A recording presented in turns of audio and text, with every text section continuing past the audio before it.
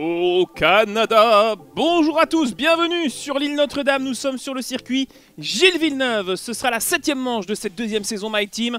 On attaque euh, cette épreuve avec de nouvelles évolutions sur la IA Rose et la volonté de mettre les choses dans le bon ordre et amener un maximum de points à la fin du Grand Prix.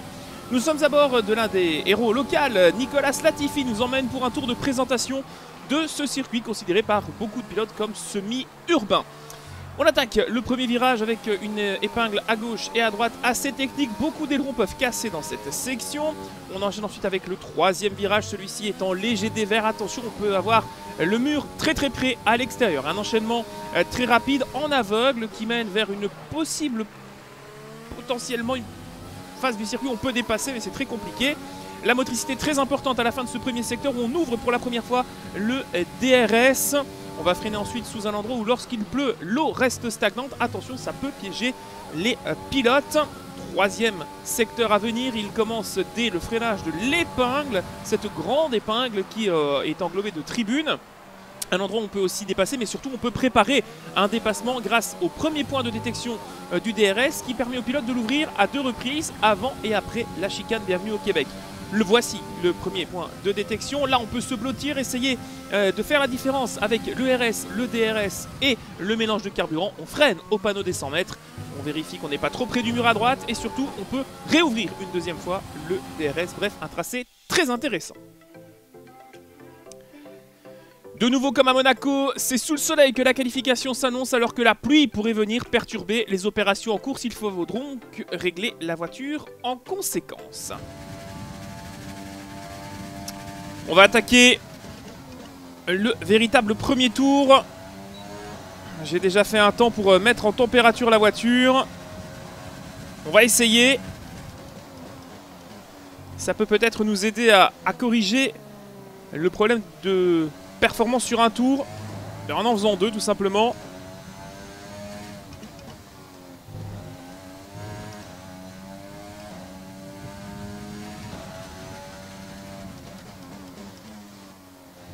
On améliore déjà le premier secteur précédent.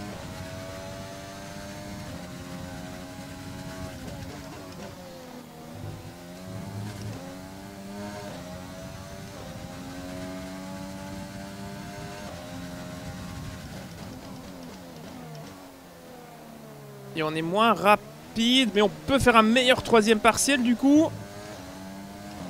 On est pour l'instant 13ème. Il y a encore beaucoup de pilotes qui doivent signer un chrono. On est devant Zou et Ocon. Hein. En espérant qu'on ait assez de carburant pour aller au bout de ce tour. pas trop gourmand. Sur la chicane, le mur des champions. Allez. Allez, on se remet en 11ème place. Alors la séance est encore longue, il reste 5 minutes, mais c'est bon signe pour peut-être euh, accrocher la première Q2 de la saison. Les résultats de cette Q1 et notre meilleure performance. On a enfin un châssis qui nous permet de nous exprimer sur un circuit comme celui-ci. On est en Q2 avec Guan C'est la première fois de l'histoire de l'équipe que les deux monoplaces sont en Q2. Euh, c'est un bond en avant euh, historique pour l'équipe. On va essayer de réutiliser euh, notre voiture à meilleur escient pour la deuxième séance qualificative et essayer de grappiller un maximum de place euh, ça fait du bien de voir qu'on se décroche tout de même de Haas, d'Alpha et de Williams. Euh, restons modestes, mais prenons tout de même le temps d'apprécier ce passage en Q2. Et avec une voiture qui peut vraiment faire quelque chose. Je vais essayer de faire de mon mieux pour euh, l'amener aux alentours de la 15e place, qui est un objectif qui est demandé d'ailleurs par les sponsors.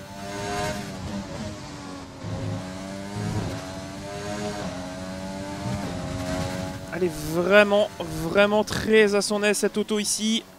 Un petit peu de sous-virage dans la chicane. Hein, le tour va être moins bon qu'en Q1. Après, comparé à tout à l'heure, c'est mon, mon premier. Oh, très compliqué la chicane.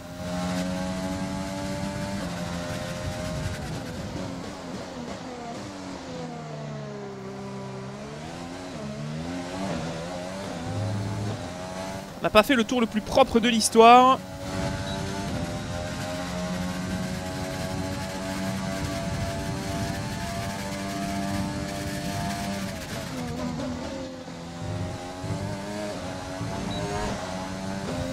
On est bien, on est très très bien sur le chrono. Et on se met 12ème. If we don't get into 10th or higher, we won't progress to the shootout. Give it your best shot. Ah, je voudrais bien Jeff, mais pour l'instant la voiture peut pas faire mieux. Mais bon, si on est 12ème, c'est déjà formidable.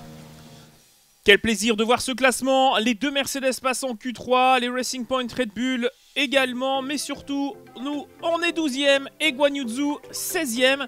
Meilleure qualification de l'histoire de l'équipe. On a pu mettre quand même une belle euh, claque à notre équipier. C'est pas tous les jours qu'on peut mettre quasiment une, bah, seconde à euh, Donc euh, bah, on va en profiter et espérer que la course qui se déroulera sous la pluie puisse nous offrir pas mal de possibilités. Nous voici de retour sur les rives du fleuve Saint-Laurent à Montréal. En 1978, une variante de cette piste accueillit pour la première fois le Grand Prix, remporté cette année-là par le grand Gilles Villeneuve. Le circuit fut ensuite rebaptisé en son honneur, ayant été le premier Canadien à s'imposer dans son pays. Sur piste humide, le pilotage s'avère exigeant et il reste malgré tout essentiel de soigner sa vitesse de pointe sur la longue ligne droite de ce circuit de 4 km 3 et qui propose 14 virages. Sur piste sèche, la vitesse moyenne se situe autour des 210 km/h, mais dans les conditions actuelles, il y a peu de chances que l'on atteigne cette vitesse.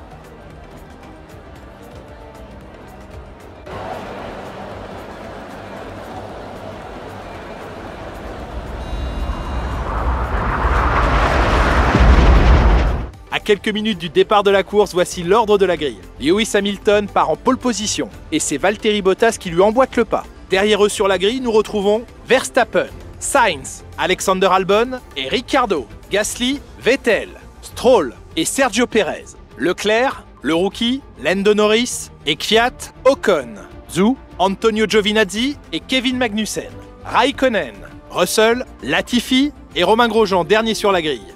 Les pilotes s'installent sur la grille, il est temps pour vous de monter le volume et rendez-vous au premier virage.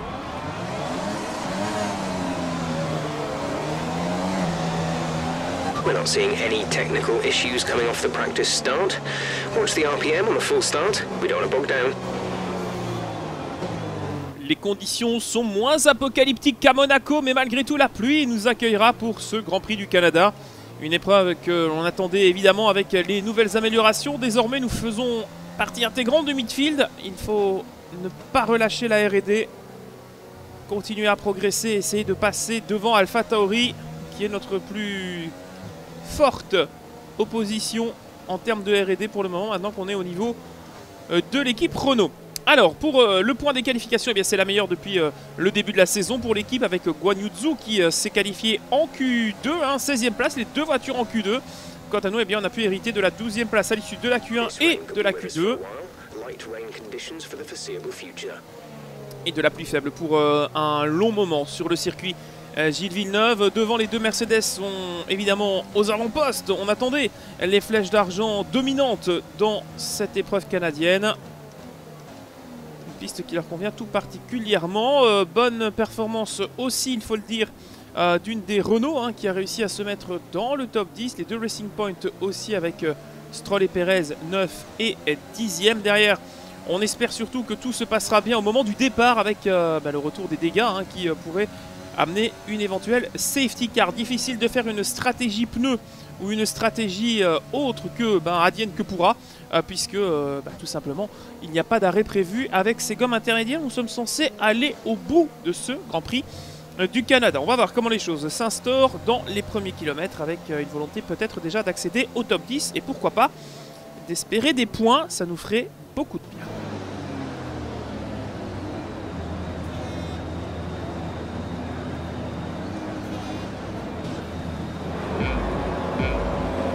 Procédure de départ de ce Grand Prix du Canada.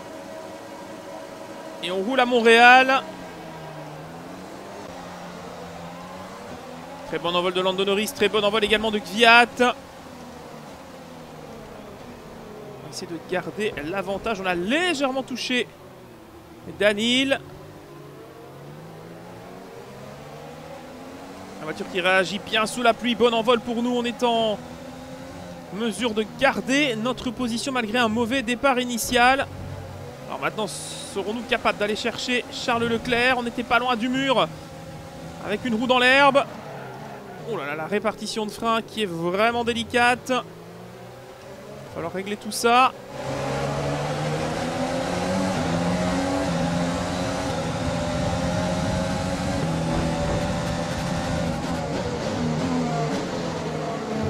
Et on assis un peu plus la voiture dans la deuxième chicane. Un départ propre, pas de, pas de soucis.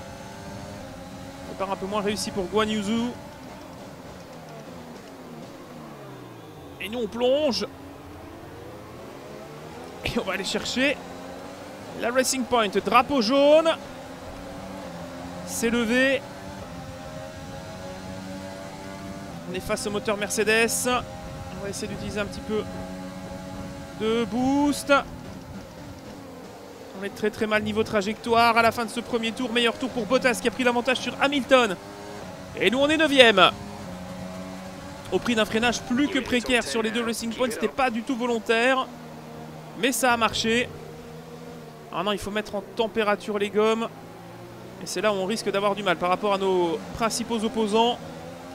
Trouver de la motricité. Et garder les pneus dans la bonne fenêtre de température. Et Vettel devant nous. Avec Pierre Gasly. On garde notre vigilance de tous les instants.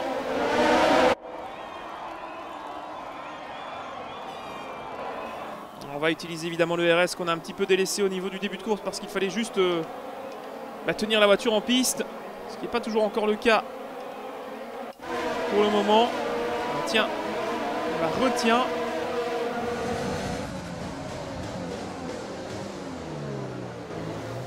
tout cas, niveau motricité, niveau moteur, le bloc Honda euh, respire bien.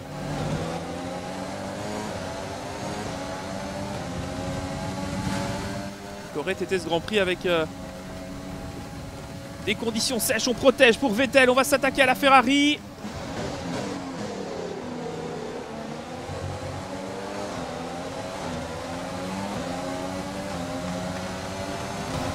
On est proche de Vettel. Ah oui, la pluie nivelle les performances, on vous l'a déjà dit. Mais là, c'est particulièrement euh, concret. Et quel plaisir aussi d'avoir les deux Aston Martin derrière. Des Racing Point qui euh, fonctionnent un peu moins bien ici. Dommage pour Lance devant son public.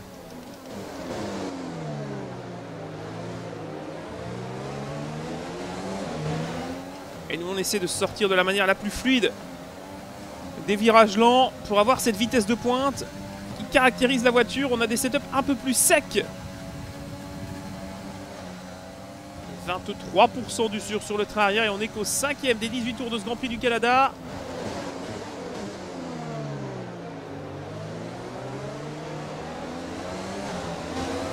On n'est pas loin, on est vraiment pas loin de la Ferrari, on a une meilleure motricité.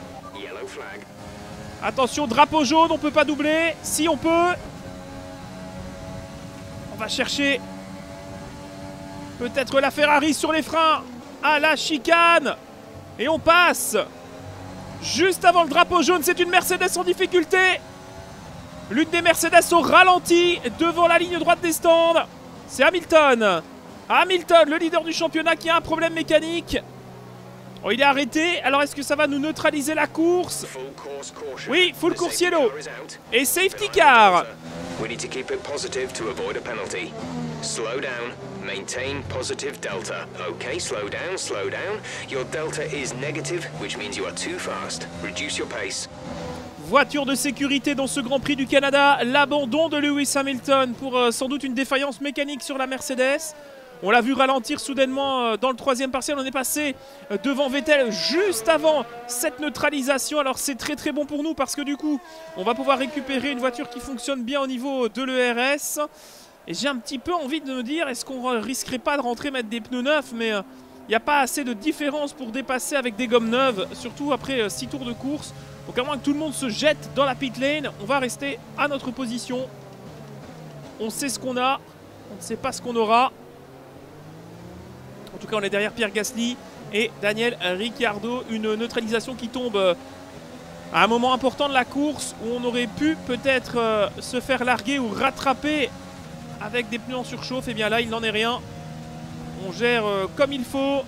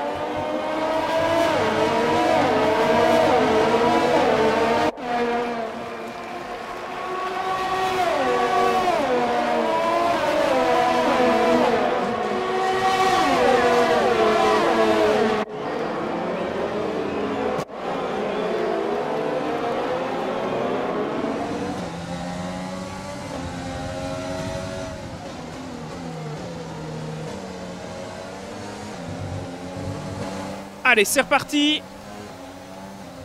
Retour en condition de course dans ce Grand Prix du Canada.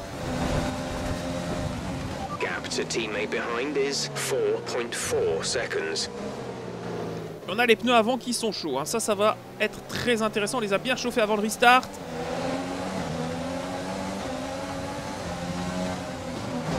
Faut évoluer en mélange riche histoire de consommer un peu de carburant pour le poids. Ça va nous donner aussi de la motricité.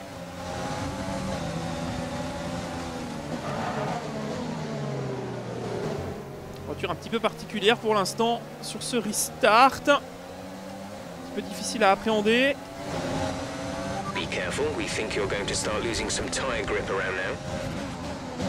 C'est vrai que le grip sur le train air commence à être un petit peu moins à l'ordre du jour. Ah, imaginez si on peut aller chercher là la voiture de, de Pierre.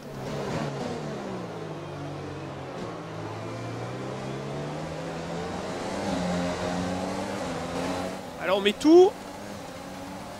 Et à la motricité, on est mieux On est mieux que la voiture du français qu'on passe sans trop de difficultés.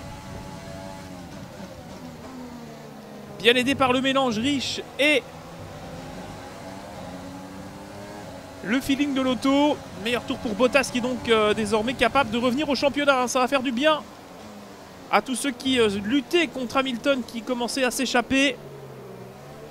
Un zéro pointé pour le Britannique qui va faire du bien. Nous, on n'en a pas fini. La voiture évolue pour l'instant dans des conditions assez uniques. J'ai jamais eu un setup, un feeling aussi bon depuis le début de la saison.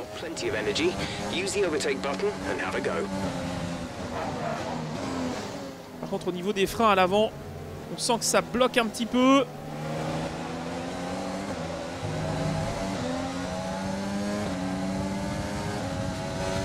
Reste en mélange riche. À ce stade-ci du Grand Prix, on peut espérer de grandes choses. Notamment au classement pilote avec Guan Yu. Ah, on a rattrapé cette, euh, malchance qui nous euh, suivait depuis euh, le début de l'année. La voiture qui n'était pas forcément bien née. A maintenant des armes pour se défendre.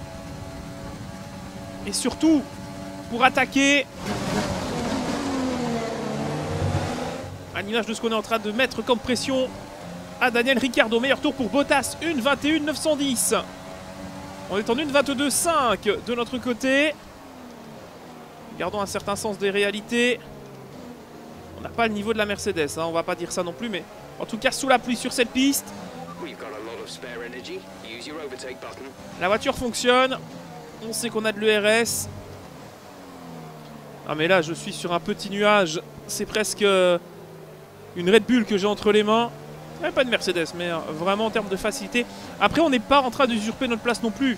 On est au niveau de la R&D d'une Renault qui est devant nous et d'une AlphaTauri qui est derrière. Donc on est un peu à notre place, j'ai envie de vous dire. Donc là, le regain qu'a eu Yaros dans les derniers jours de R&D se fait ressentir.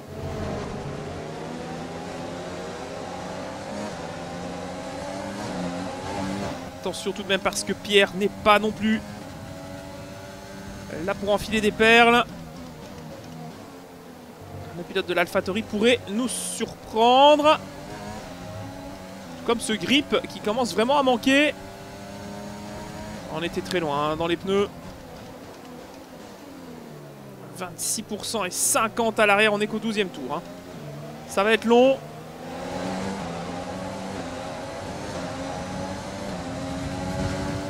Et Albon qui se rapproche aussi de la McLaren.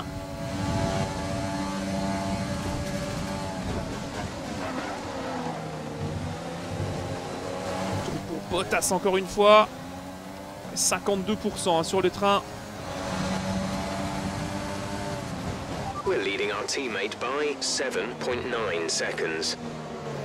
7 secondes 9 d'avance face à notre ami Guan Yuzu qui vit une course beaucoup plus difficile que nous. Finalement, rentrer pendant, pendant le safety car aurait pu être aussi une bonne solution. Après, on est sixième, on va pas se plaindre. Loin de là.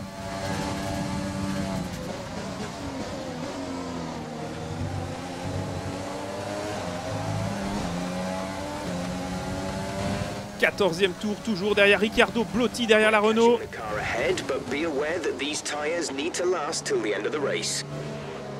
Ouais, et euh, la McLaren devant, ce qui est celle de Sainz, je crois, à la vue du casque. Mais pas forcément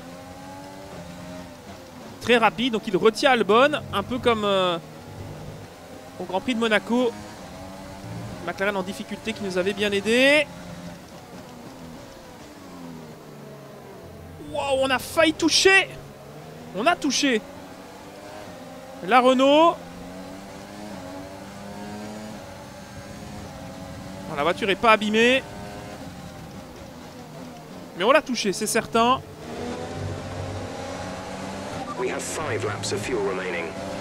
5 tours de carburant, on est bon à ce niveau-là aussi.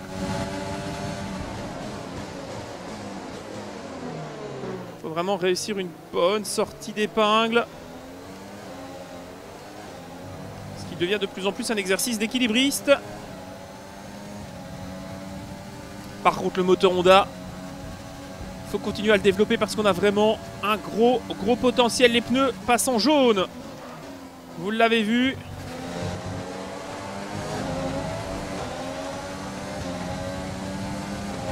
Au niveau des éléments de la voiture, il faut vraiment surveiller les gommes. De 4 tours dans ce Grand Prix du Canada. Et un top 5 qui euh, serait formidable pour euh, redonner de l'espoir à vous, amis viewers, et surtout à l'équipe que moi j'en avais bien besoin après cette deuxième année où je pensais exploser. Le travail incessant des essais libres, tous complétés sans exception, est en train de payer.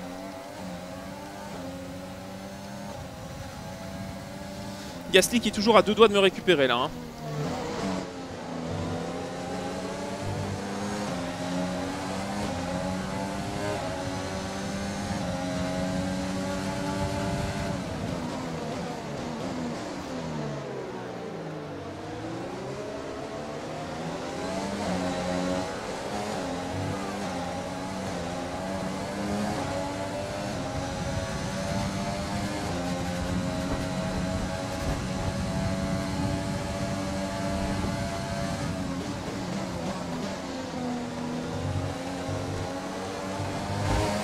On a touché le mur On a touché le mur Voilà, 64% Alors le fuel on est bon selon Jeff, par contre je suis moins satisfait de ma gestion pneumatique. Peut-être des pressions qui sont pas adaptées non plus.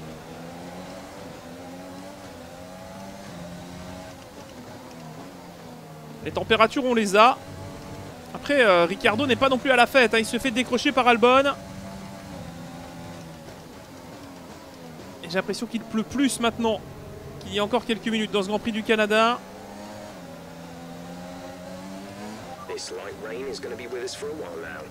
Jeff nous confirme que la pluie faible est avec nous pour encore un bon moment. J'en attendais pas moins.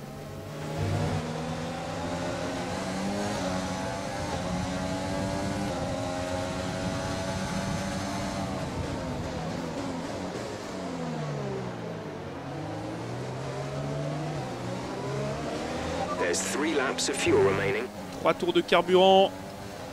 On est très très bien. On va essayer de se rapprocher un maximum de Ricardo.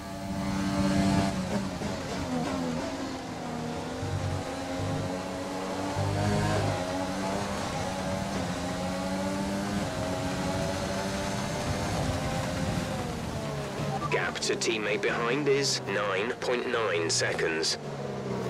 10 secondes d'avance sur notre équipier, mais ça, c'est pas trop grave. Ce qui m'intéresse, moi, c'est ça. Situation pneumatique.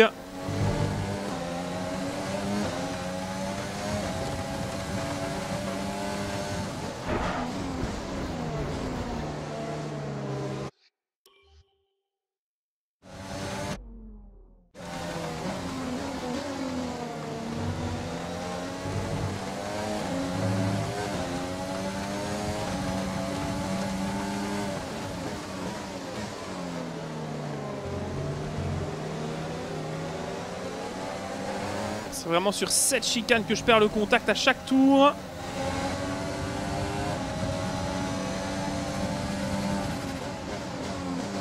Attention à Pierre hein, qui revient derrière, je lui ai laissé la place. Mais il est de nouveau revenu à ma hauteur.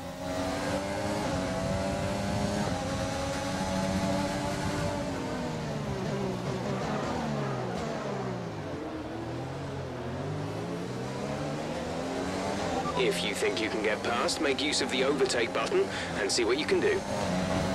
Ah mais je peux plus faire grand chose à part tenir ma place parce que là, sincèrement, je vois pas comment je peux prendre l'avantage sur Ricciardo avec une voiture dont les pneus arrière sont dans un état pareil. Dernier tour du Grand Prix. Oh oui Final lap, final lap of the race. Ça passe Allez Allez Merci. La motricité. Oh là, j'ai vraiment plus de gomme.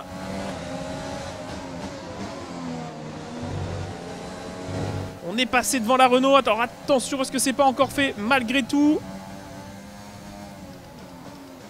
On a encore atteint un point supplémentaire d'usure dans les gommes. Ah, sortie de route, d'accord.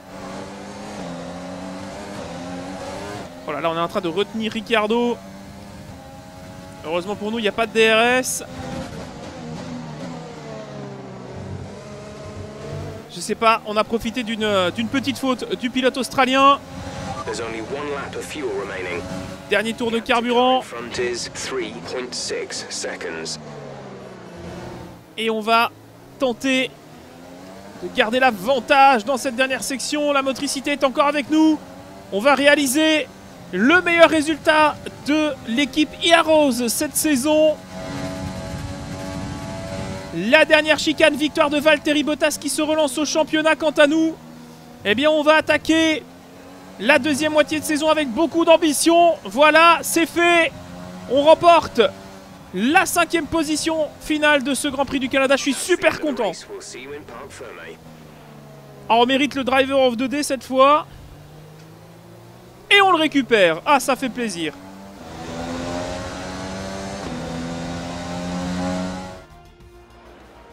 Le drapeau à damier est agité et c'est la fin de ce Grand Prix.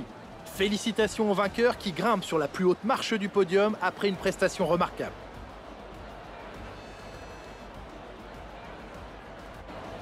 À votre avis, Nicolas, qu'est-ce qui a fait qu'il a pris le dessus sur les autres aujourd'hui? Eh bien, ils ont su exploiter l'arrivée de la voiture de sécurité à la perfection. Il y a une foule de facteurs à prendre en compte lors de la neutralisation de la course. Faut-il rentrer au stand pour chausser des gommes neuves? Est-ce que votre avance est suffisante? Combien de carburant pouvez-vous économiser?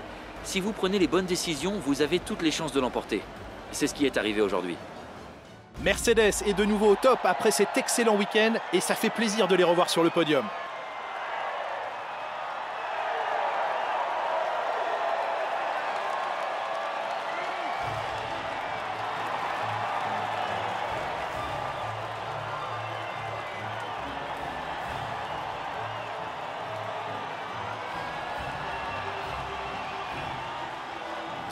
Les résultats de ce Grand Prix du Canada exceptionnel. Valtteri Bottas remporte les 25 points de la victoire avec le meilleur tour en course en prime. Verstappen et Sainz complètent le podium. Énorme performance de McLaren quand même. hein. Après euh, Racing Point euh, lors du Grand Prix euh, de Monaco, ici on a euh, de nouveau une belle perf pour, pour McLaren.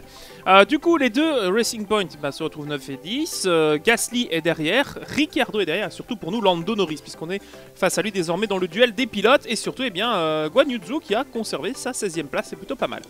Au classement général, eh bien, on remonte et ça fait du bien. Deux points derrière Gviat et on repasse devant Guan Yu, du coup, qui en avait 9 avant ce meeting. Donc on a bien fait de tenter de dépasser. Euh, on est devant Ocon, donc ça aussi ça fait plaisir. On est le meilleur des, autres, hein, de la deuxième moitié du classement. Et au classement général, eh bien AlphaTauri repasse devant Renault, qui est désormais notre prochain objectif. Alors, voyons ce qu'on peut faire au niveau déjà de cette R&D. Alors, qu'est-ce qu'on peut faire? On va essayer de continuer à faire euh, s'améliorer euh, Guan Yu. Alors, qu'est-ce qu'on a ici? Une amélioration au niveau du châssis. Euh, J'aurais bien aimé un- une amélioration au niveau du, châssis euh, du département. euh. Ah bah écoutez, on va tout faire. Pourquoi il nous propose de choisir puisqu'on peut tout faire? C'est parti, parfait. Non, j'aurais bien aimé une amélioration du département au niveau de l'aérodynamique, au niveau du moral, mais bon, on va le faire tout de suite. Alors, au niveau de la R&D, justement, on a déjà des points à améliorer. Ça travaille toujours du côté, euh, du côté châssis. On va essayer de bosser un petit peu du côté aéro, si vous voulez bien. Avec euh, l'aileron arrière, 1200 points. On va travailler là-dessus, malgré un moral de l'équipe pas top top. On va confirmer. Alors, une amélioration déjà équipée, c'est plutôt bon signe. Le capot moteur est aussi amélioré.